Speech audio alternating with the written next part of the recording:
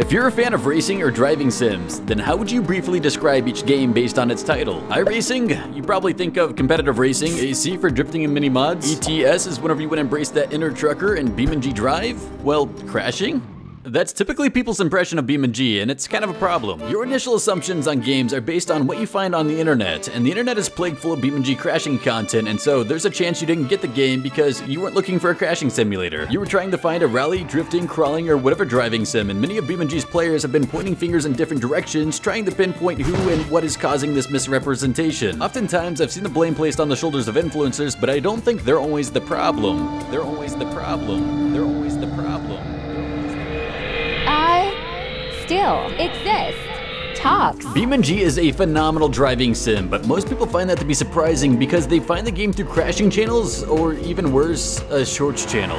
If I can reach the bottom, No, you will not. I will eat one more bottle of paste. I, I know why these exist, but I don't know why. I, what, what, that's so bad. If you don't know what it is, then don't worry, we'll, we'll talk about it. Crash, crash, crash, crash. But first, let's talk a little bit about the wrecking channels. If you type BeamNG into YouTube, these will be amongst the first videos you see in your search, most of them pertaining to wrecking. The most destructive, high-speed traffic car crashes, realistic freeway crashes, rollover and car crashes, racing random cars down dangerous mountain, insinuating crashes, police chase and car crashes, funny cars crossing Bulwark. What is this? Oh, it's a short. Joking aside, when some of you pointed this out, I thought it was just YouTube being YouTube, but upon searching up iRacing, WRC, and Assetto Corsa, the videos all looked like they were targeted towards a far more mature audience. Why does BeamNG look like this when you search it up? Well, kids. Like it or not, that seems to be what the majority of the space is made up of. I mean, how do you explain this? How many views do you think this has? A, a few thousand?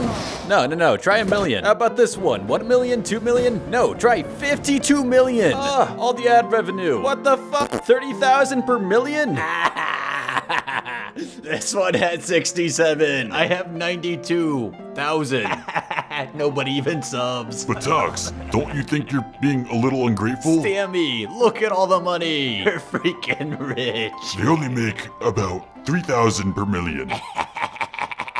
Now you're probably thinking, Talks, why don't I make one of these videos? I would like to get that many views. And you totally can, but you're not going to succeed. The number of channels that have had the exact same idea is exceeding well over 100,000. I'm kind of guessing that, but I searched up BeamNG Crash as a channel name. And after loading in over 2,000 of them, I decided to stop because I'm sure this would have gone on for a very long time. And I decided to search through some of the channels, and unsurprisingly, a lot of them had little to no views. We even came by some AI generated ones over on my Discord, but I can't find those at the moment. Really wish I could because the channels were like printers, and the concept to me is just terrifying. YouTube creators versus machines kind of thing, and that's already happening. But now we're getting a little off topic, so back to the point. Do I see these crashing channels as a problem for BeamNG? And if they are the first things to only show up, then absolutely. On the bright side though, we do get some Let's Play style content. Very focused on crashing, but it's Komodo, why are you always on the front page? Stop it. Go somewhere else. Now, go down, down, down. Oh shit, he has 3 million subs. I am so sorry. So you do Hamburger Man stuff. Hmm. That's it, lads. We're going in.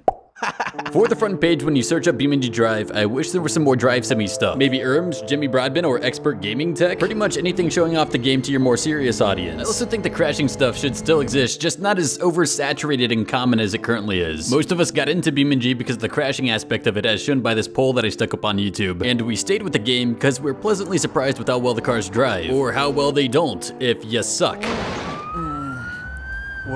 What? What ha what happened? Well, hey there, you're lucky to be alive. Where am I? You wrecked in a six degree of freedom motion rig on BeamNG. Uh, this will be a $90,000 hospital bill. I, I, don't have that money. I, I, I'm sorry, I couldn't understand that. I, I don't have $90,000. You what? I don't have 90,000. Hey, what are you doing? I'll sue you. Now, if you search for BeamNG on YouTube, you're likely going to see something entirely different than what I've been showing you. And that's because YouTube shows you content based on your own preferences. And I've been showing you stuff with a clean search. And therefore is what the majority of people are seeing when they first find BeamNG, including what we're just now about to talk about, the shorts. I cannot stand these things. Insert lame joke. While crash happens, your mom. That's pretty much everything they have to offer. Car approaches crash, joke is said by AI voice, Blah, blah, car blah. crashes, repeat. For some bonus points, add some text to the back of the car so the kids can watch it while they're at school. That is, assuming they're still watching it by the age of six. Oh, I just heard somebody unsub. Which one of you got angry? Was it one of you, or was it one of you pretending like you're 65? There's no way somebody's out there watching this at the age of 65. Anyways, why am I bringing up BeamNG short content? Well, a while ago I made made a video about short channels making a ridiculous amount of money, but I turns out I was incorrect. Carmighty noted that short channels only make about 5 cents per thousand views. And not too long after, MIE also stated, For every 1,000 views, a YouTube short earns a whopping 5 cents. Damn.